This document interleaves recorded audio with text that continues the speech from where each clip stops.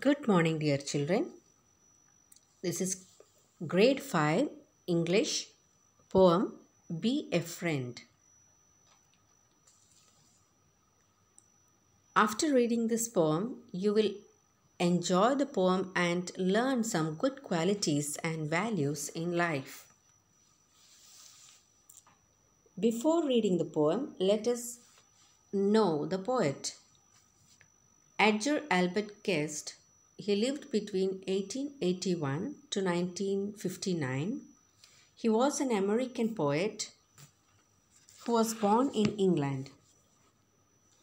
He moved to the United States when he was a child. He wrote thousands of poems which were published in several books. They encourage the reader to do the right thing and he became to be known as the people's poet. He wrote sentimental, optimistic poems about everyday life. The speaker writes about the qualities needed to be a good friend. In this poem, he shows how it is more important to be a good friend than to be rich or famous. Be a friend you don't need money. Just a disposition sunny. Just the wish to help another. Get along some way or other. Just a kindly hand extended out to one who is unbefriended. Just the will to give or lend. This will make you someone's friend.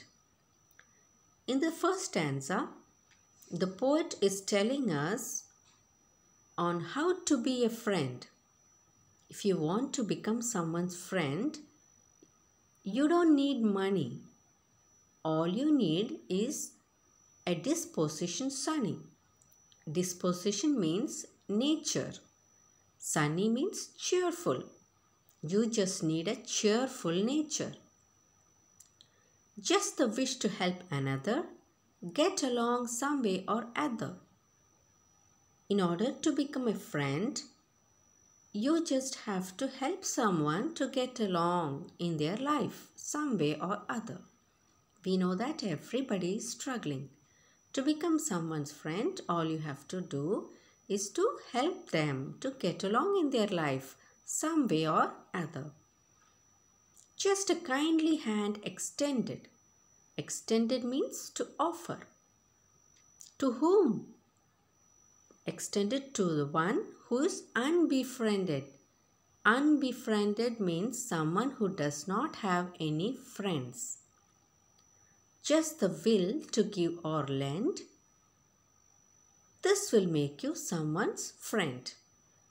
Just the willingness to give or lend somebody all that you can offer.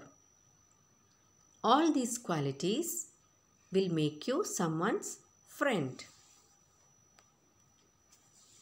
In the first stanza, the word meanings that you will come across are disposition means nature.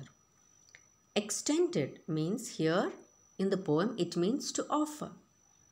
Unbefriended in the poem means someone who has no friends. Lend means to grant or to give.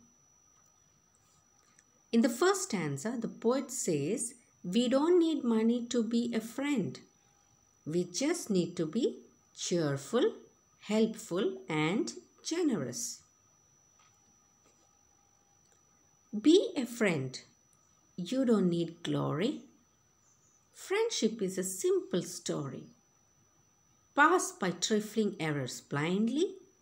Gaze on honest effort kindly Cheer the youth who's bravely trying. Pity him who's sadly sighing. Just a little labor spent on the duties of a friend. Here, the poet clearly tells us that in order to become a friend, you don't need glory, means you don't have to be rich. Because friendship is a simple story. And what all must you do to become a friend? Pass by trifling errors blindly. Trifling errors means unimportant mistakes. When a person is making small mistakes, you pass them blindly, means you ignore them. Gaze on honest efforts kindly. When somebody is making an effort, you gaze at them, means you admire them. Cheer the youth who is bravely trying. You know that everybody is trying in some way or the other. When somebody is trying sincerely and bravely, you cheer them up, you encourage them. Pity him who is sadly sighing means feel sorry for someone who is deeply sad. Just a little labor spent on the duties of a friend means these are simple things that you need to do if you want to become somebody's friend. These are your duties if you want to become somebody's friend. What are the duties? First of all, you don't have to be rich. You have to ignore unimportant mistakes. You have to admire their honesty and efforts. You have to cheer someone who is bravely and courageously working hard in their life. You have to feel sorry for someone who is deeply sad. These are all just some little work spent on the duties of a friend. The word meanings in the second stanza are glory means highly famous or rich. Trifling means unimportant. Gaze, look in admiration. Look at someone with appreciation. Pity means the feeling of sadness, feeling sorry for someone. Sighing means deep breath expressing sadness. In the second stanza, the poet tells us about the duties of friendship. We should be able to forgive our friends easily, encourage our friends in everything, and share their sadness. Be a friend. The pay is bigger, though not written by a figure, than is earned by people clever in what's merely self endeavor. You will have friends instead of neighbors for the profits of your labors.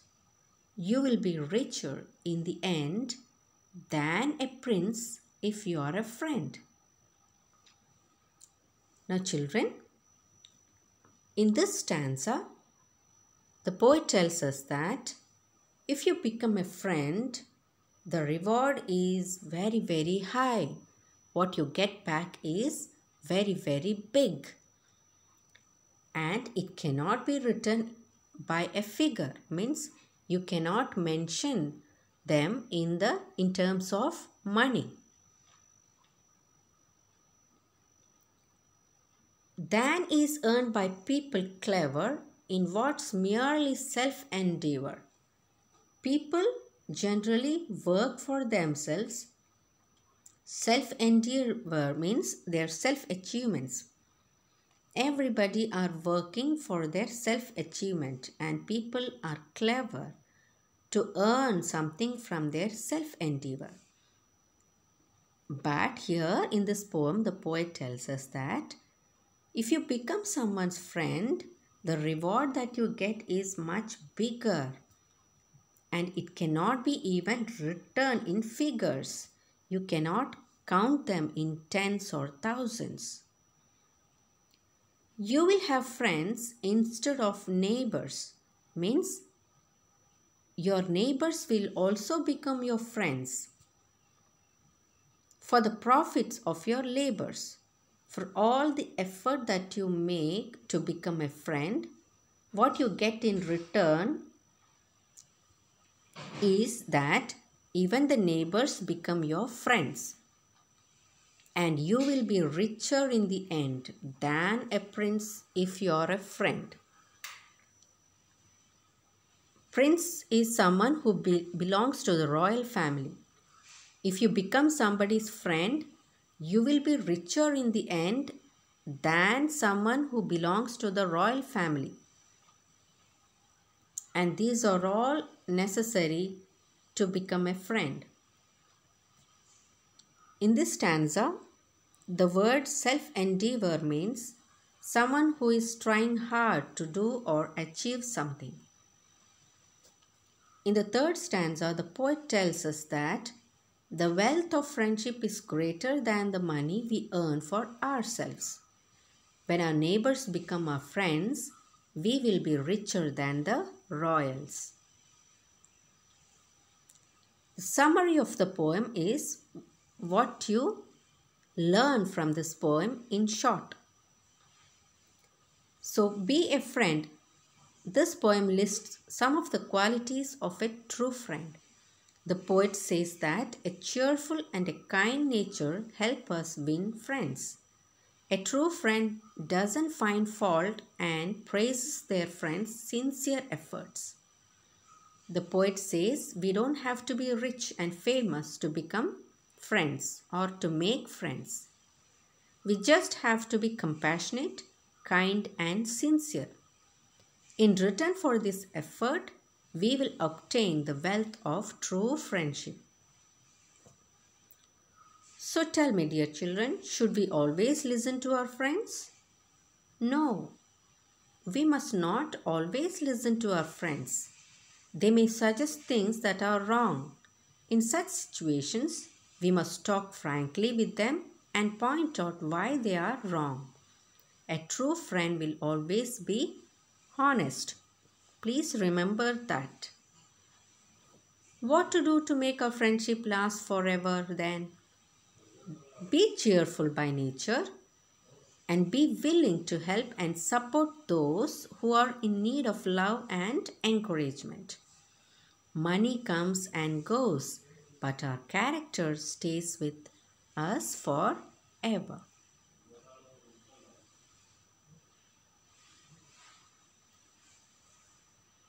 So that's all, my dear children, about the poem Be a Friend. Read and enjoy.